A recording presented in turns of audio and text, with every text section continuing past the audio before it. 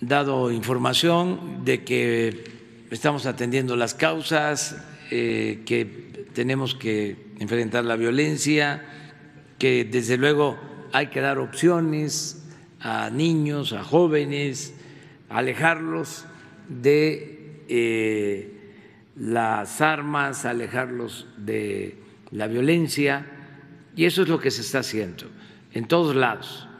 Em, desde luego es un proceso, atender las causas, que eh, no haya eh, esta opción, cancelar por completo la opción de eh, la violencia. Hay quienes sostienen del grupo de seguridad, del gabinete de seguridad, que se les está eh, dificultando a las organizaciones eh, conseguir eh, sicarios. Y que están reclutando cada vez más niños jóvenes, porque existe una competencia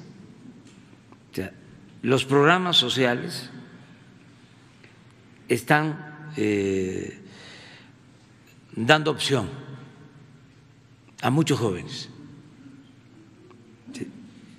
Eh, y esto eh, lleva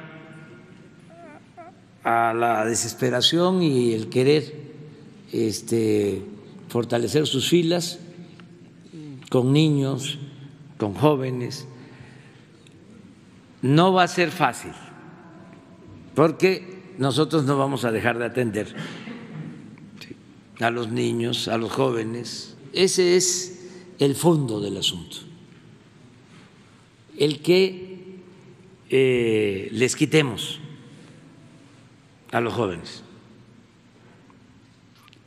el que les demos opciones a los jóvenes, alternativas. Hay que esperar. Eh, eh, en, el, Guerrero eh, es el Estado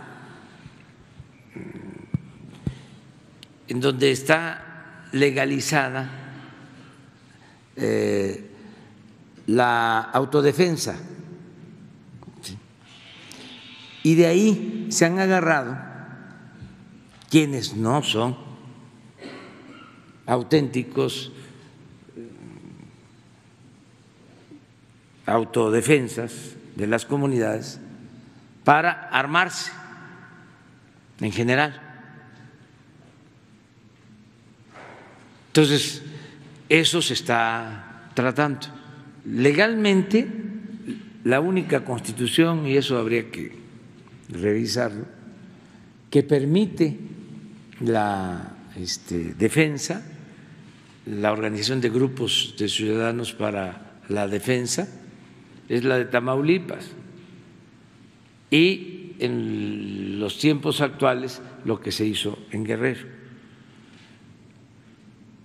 Entonces hay que ver de qué se trata bien, no adelantarnos, pero lo interesante, lo que yo considero eh, importante, trascendente, es que estamos atendiendo las causas